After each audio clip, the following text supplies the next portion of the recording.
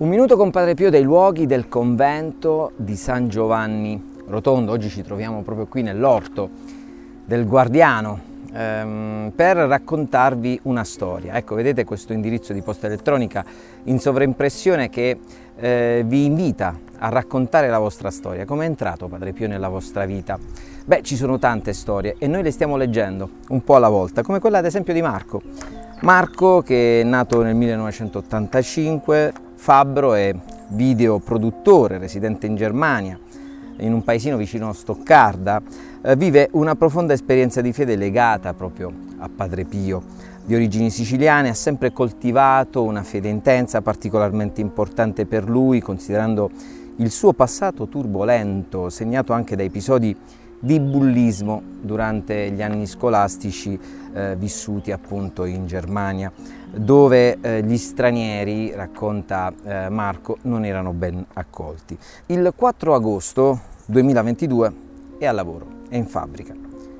Un po' giù di morale per i sensi di colpa del suo passato. Quel giorno, pregando intensamente di ricevere un segno da Padre Pio, lui eh, Dentro di sé ripete, Padre Pio, ti vorrei tanto vedere, anche solo per sapere che sei vicino a me, che mi proteggi, supplica Marco. Quel giorno, senza aver menzionato nulla e senza nemmeno eh, aver comunicato eh, questo ai suoi familiari, riceve una foto, una foto eh, via Whatsapp da sua suocera che si trova in autostrada in Germania, verso Ulm.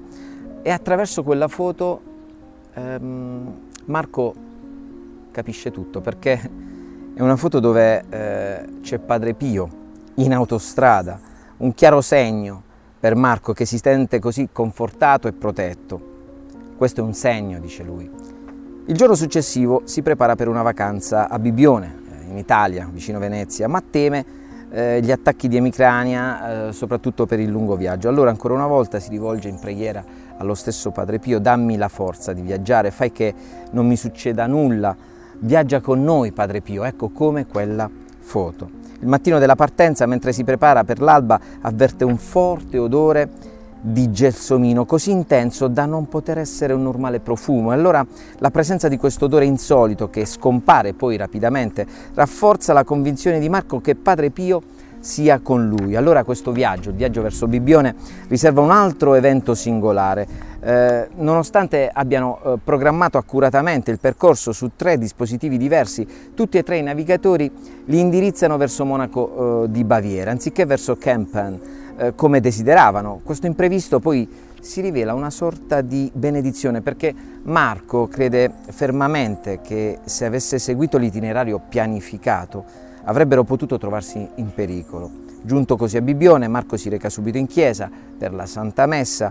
Qui per la seconda volta percepisce quell'odore, quello stesso odore di gelsomino, eh, che conferma la presenza di Padre Pio. In un momento di preghiera intima, allora Marco esprime un desiderio, un desiderio sincero verso Padre Pio, chiedendo una riconciliazione con suo zio, con cui non aveva contatti da vent'anni a causa di vecchi dissidi familiari. Allora due giorni dopo riceve un messaggio da suo zio, esattamente come aveva sperato durante quella preghiera.